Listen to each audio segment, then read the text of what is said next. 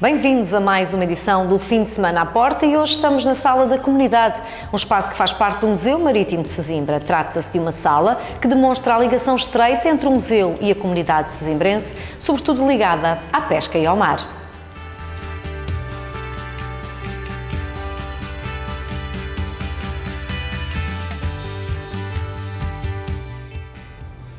Já no sábado realiza-se também durante todo o dia, mas no Cineteatro Municipal, o Encontro Nacional Desafiar o Futuro das Pescas, o evento organizado pela Câmara Municipal de Sesimbra e pela Mútua dos Pescadores, com o apoio da DOCA Pesca, visa promover o mar e a sua importância para o desenvolvimento do município.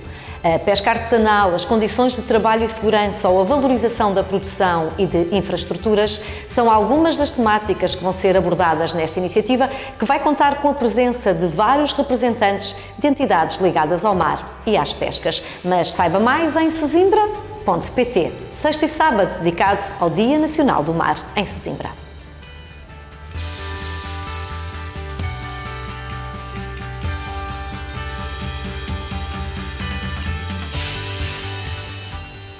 O domingo está reservado à família na freguesia da Quinta do Conde. Vamos ter mais um Momentos com História e Yoga para pais e filhos. Patrícia Reis promete assim mais uma viagem pelos contos ao ritmo das palavras e das canções. Depois das histórias, as famílias podem participar numa aula de yoga. Promover o bem-estar e o convívio entre todos os participantes são os objetivos destes momentos e a participação é livre, basta aparecer.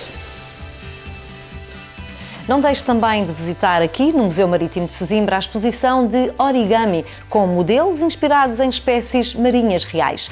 Trabalhos de Eduardo Seix, gente de cá, para ver de terça a domingo. Bom fim de semana.